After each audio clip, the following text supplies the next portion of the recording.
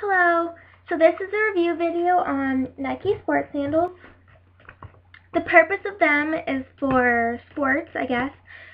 So usually after working your feet hard or working hard, like in sports, usually with cleats, you want to take your shoes off. You don't want to put your feet in shoes.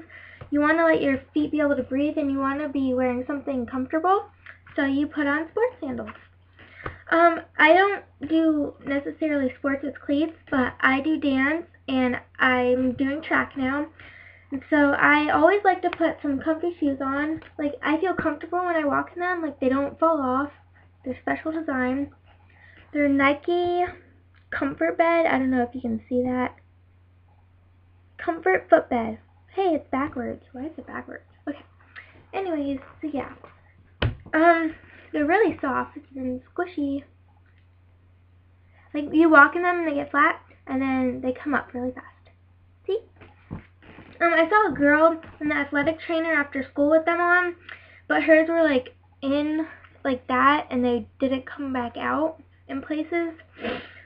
So, I'll just have to see what happens after I wear them a long time. Um, I honestly like wearing these because you can wear socks with them, and not show your toes, but they're flip-flops, and your feet can breathe. And. They came in a box, of course. Mine were $27.99, and they're usually $32.99, so I got a deal. Um, yeah, I got them from the mall at a shoe department. You can get them at, like, Sports Authority, whatever.